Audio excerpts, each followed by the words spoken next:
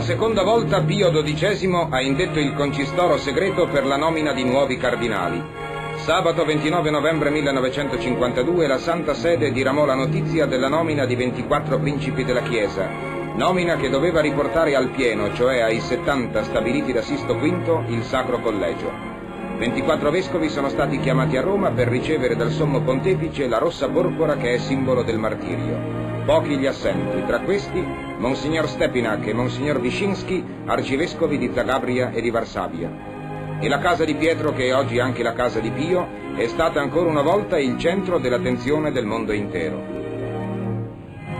Nei giorni precedenti, fino all'immediata vigilia del 12 gennaio, i porporati anziani e quelli di nuova nomina sono affluiti a Roma, in treno e in aereo, e Ciampino ha visto scendere il patriarca degli armeni Gregorio Agagianian, insignito della porpora nel 1946, e a tarda sera Monsignor MacIntyre, arcivescovo di Los Angeles, uno dei nuovi prescelti dal pontefice.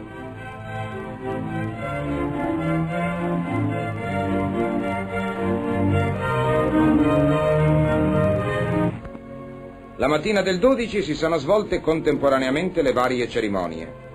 Nel collegio di San Luigi de Francesi, il messo ha recato a Monsignor Giorgio Maria Grant, arcivescovo di Le Mans, e a Monsignor Maurizio Feltin, arcivescovo di Parigi, i biglietti di nomina. I due neocardinali, presente l'ambasciatore di Francia e tutta la piccola corte, ricevuti i biglietti, li hanno porti ai rispettivi segretari che ne hanno dato lettura.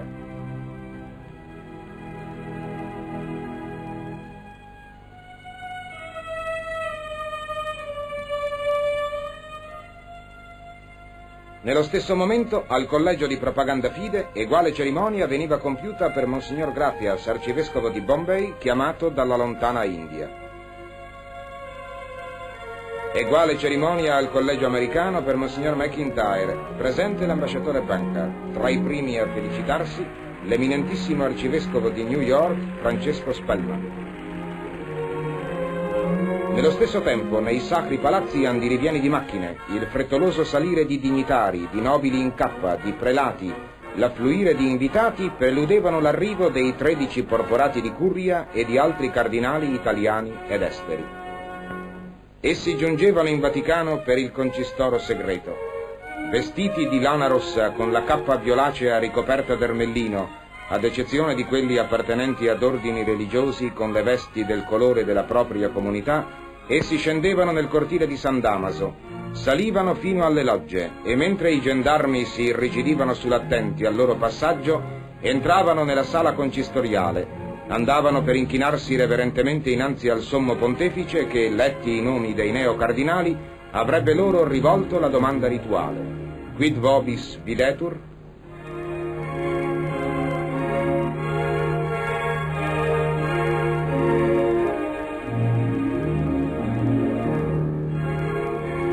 La pesante porta s'è chiusa e il pontefice, dopo che l'ufficiale concistoriale aveva pronunciato l'extra omnes, ha letto la sua allocuzione. Mercoledì 14 gennaio un'altra cerimonia per la prima volta in Italia si è svolta in Quirinale, l'imposizione della berretta cardinalizia al nunzio apostolico Monsignor Borgongini Duca da parte del Presidente della Repubblica. Presenti tutti gli ambasciatori, l'onorevole De Gasperi, altri membri del governo, nel grande salone attiguo alla Cappella Paolina, il capo dello Stato ha ricevuto, facendolo sedere alla sua destra, il cardinal Micara, vicario di Roma. Monsignor Borgongini Duca è passato per l'ampio scalone scortato da doppieri accesi. Giunge l'ablegato pontificio, Monsignor Cagna, con il biglietto di nomina, seguito dalla Guardia Nobile Conte Castelvetri con la berretta.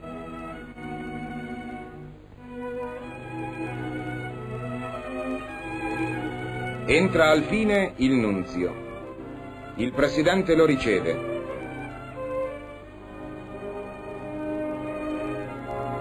E quando il neo cardinale si inchina, egli impone la berretta rossa sul suo capo. Poco dopo il neo cardinale, che è vestito di viola, esce dalla sala. Vi rientra tre minuti più tardi, coperto di rosso, il colore del nuovo titolo.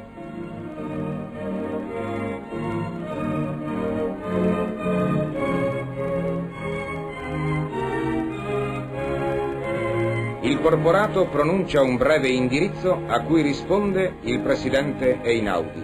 La cerimonia è conclusa. Infine l'imponente rito in San Pietro, il concistoro pubblico fissato per giovedì 15.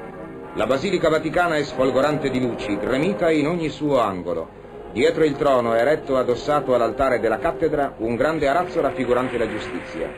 Echeggiano le note solenni della Marcia dell'Onghi, il pontefice, seduto sulla sedia gestatoria, con la mitra in capo, scortato dai flabelli, avanza sotto la navata centrale. Giunto innanzi alla cattedra, il Papa scende dalla sedia gestatoria e sale i gradini del trono.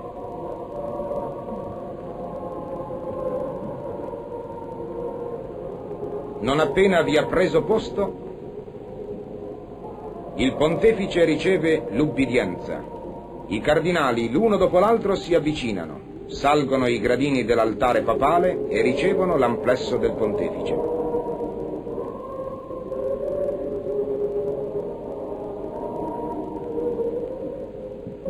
Ed ecco avanzare uno ad uno in un solenne e maestoso corteo i novelli principi della Chiesa che nella cappella di Santa Petronilla avevano prestato il prescritto giuramento dinanzi ai cardinali capi di ordine e al Camerlengo. Dopo il bacio al piede e all'anello, Pio XII impone a ciascuno il galero, il cappello cardinalizio che i porporati non porteranno più.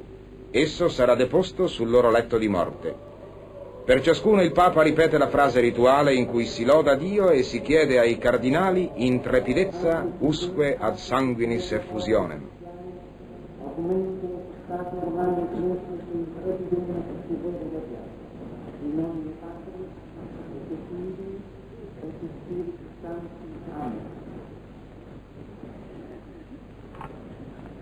Dopo la benedizione, il pontefice risale sulla sedia gestatoria e tra le acclamazioni dei fedeli rientra nei propri appartamenti.